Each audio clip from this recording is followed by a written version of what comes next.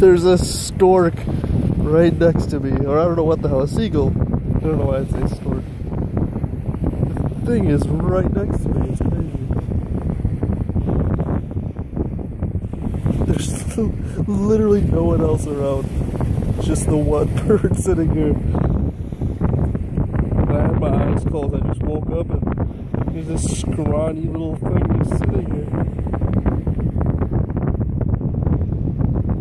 I mean, you're not supposed to film down here, but look at this thing go. It's so little. Oh, fuck, do not come near me. I will kill you.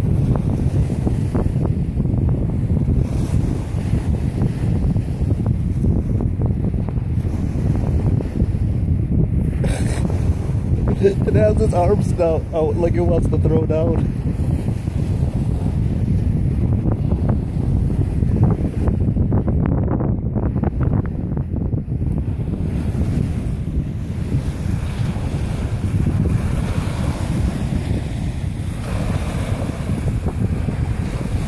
The weirdest interaction with wildlife.